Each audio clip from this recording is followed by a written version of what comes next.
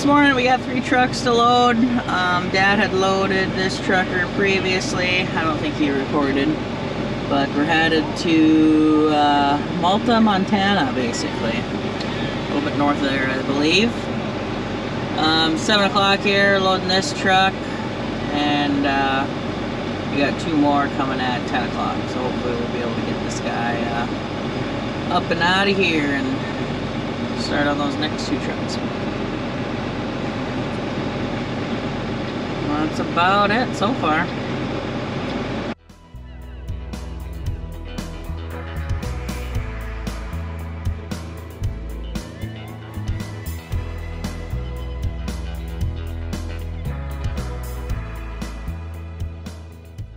Last time Dad had loaded this guy and another guy, and uh, he had uh, truck drives blow on him and do a lot of damage, so it's just this guy this time.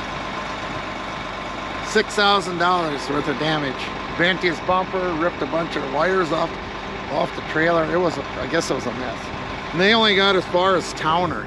Oh, that's that happened? Yeah. Oof, So he said they didn't get to wherever they're going till 8 o'clock. So I haven't been videoing much, but our second truck is here. Just trying to find the correct bales to put in the top row. Because on the ends of these hayloads, you want to kind of find a bale that's not quite as square so that it will fit nice with the load and kind of hug the other bales. So those front, uh, front bale and even on the bottom, you kind of want them to, you know, the left side of the bale to be a little bit narrower so that it kind of hugs the load and then same thing with the rear but the opposite way. So it kind of hugs it and uh, so that it can make it to the next destination safely as well.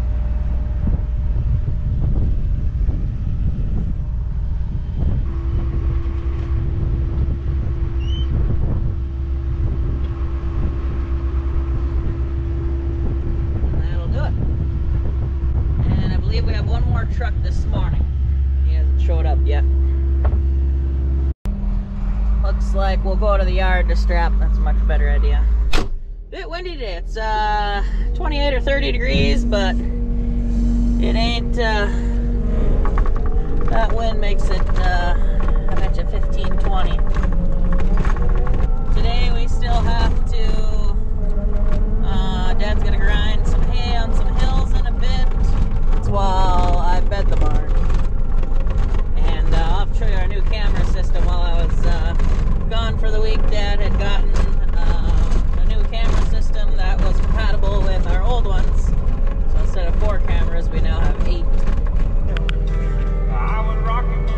looks like everyone's still relaxing.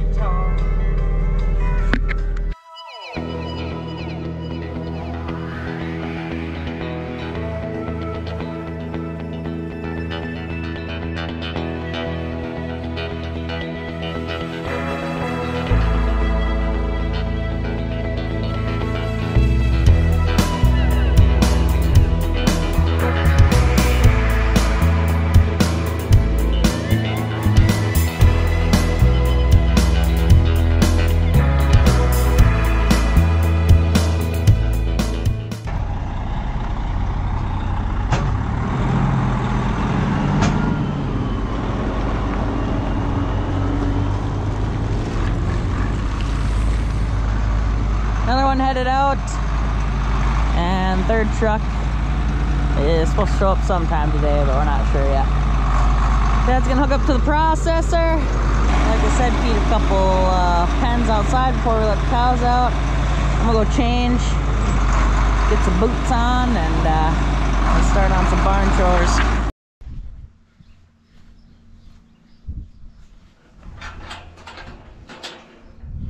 Someone's trying to enjoy the sun. There you go.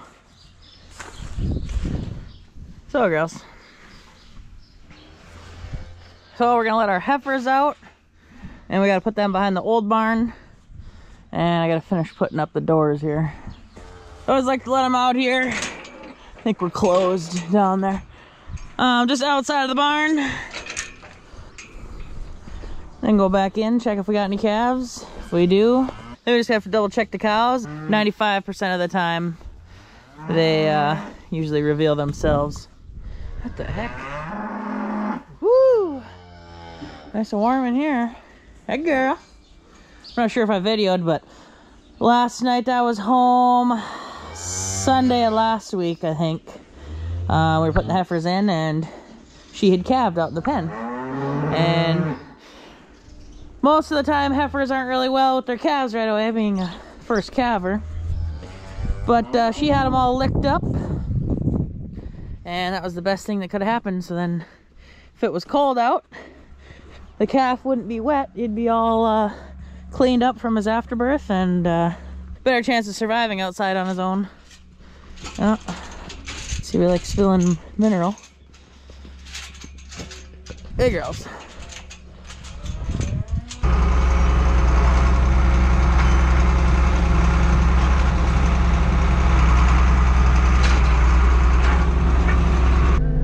The third trucker on the road, and I gotta go in and make some uh, calf ear tags. We got a few calves last night. So was it this guy was born last night? Uh, we were working on the skid steer radiator, and then this guy, sometime this morning, he was all licked up by the time we got down to the barn. So we're gonna move these guys over and then let these cows out. Come on, babies. Yeah, that'd be crazy. Come on. Yep.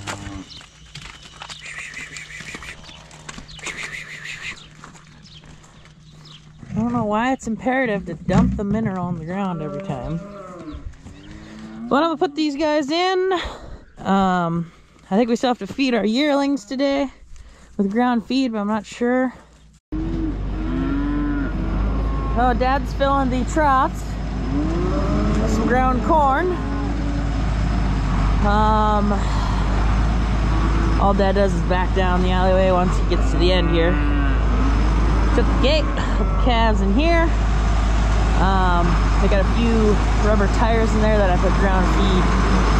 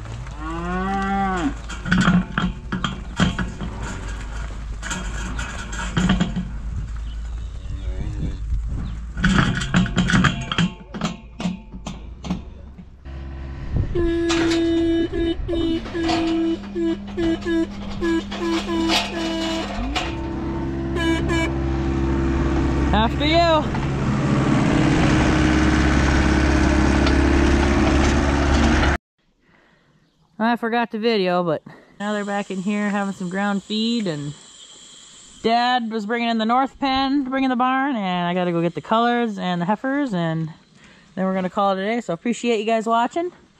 Be sure to subscribe and I'll see you in the next one.